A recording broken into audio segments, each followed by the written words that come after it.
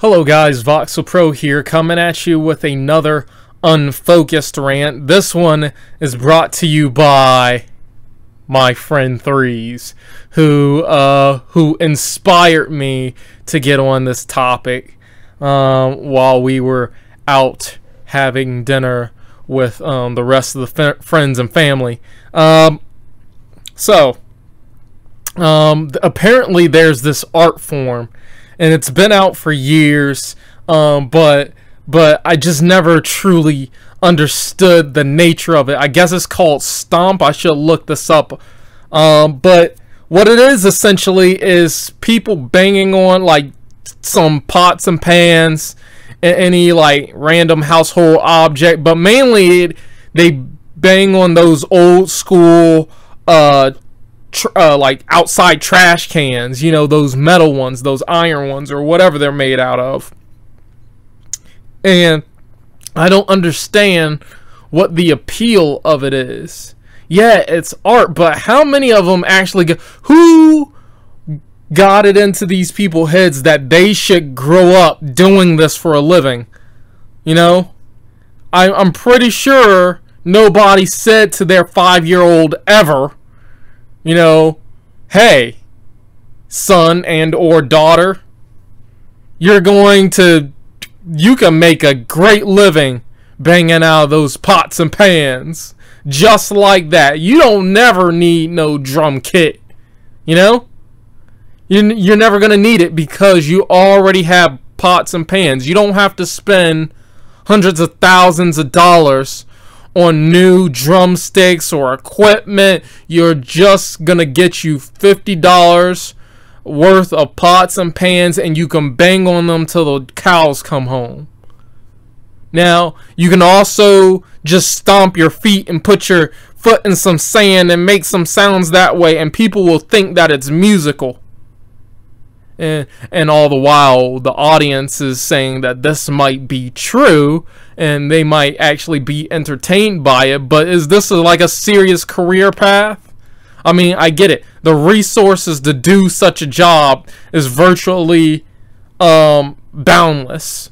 I mean like nobody is gonna even poor people can do this. Why do you think haven't you ever seen like one of those like homeless people and I'm sorry to you know if I'm ragging on them, but seeing one of those, you know, people that used to have like what looked to be like one of those old school plastic uh cylindrical cans you know that you know some people use to hold their washing powder stuff i think they still sell that stuff in the like the large like two and a half foot uh, plastic cylindrical cans. That was like about a foot in diameter and they go and they bang on the things in like Times Square or something like that and they get like a few dollars or dimes or pennies or how much ever it's worth you know for them banging on their pots and pans and that's how they get their money. What i'm saying is is that those people who are doing that for a living as an art form who like people go to visit and pay like 50 bucks for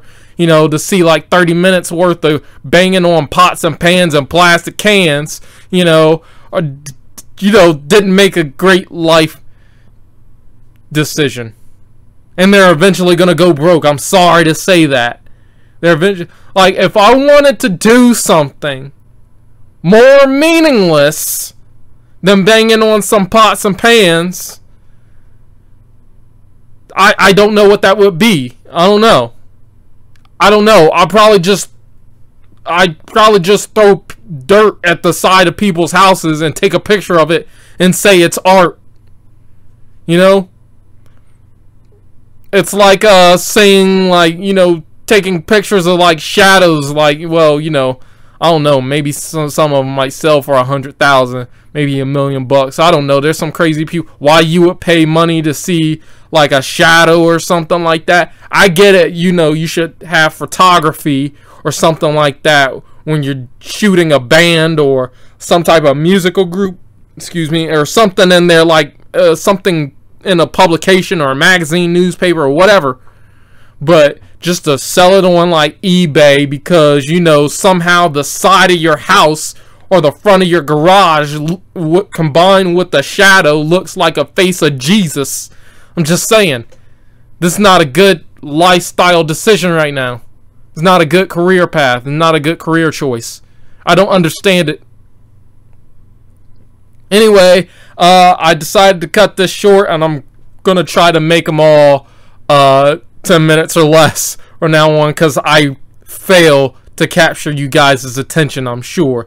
Thank you guys so much for watching this unfocused and or slash listening to it, and I will see you guys in the next one.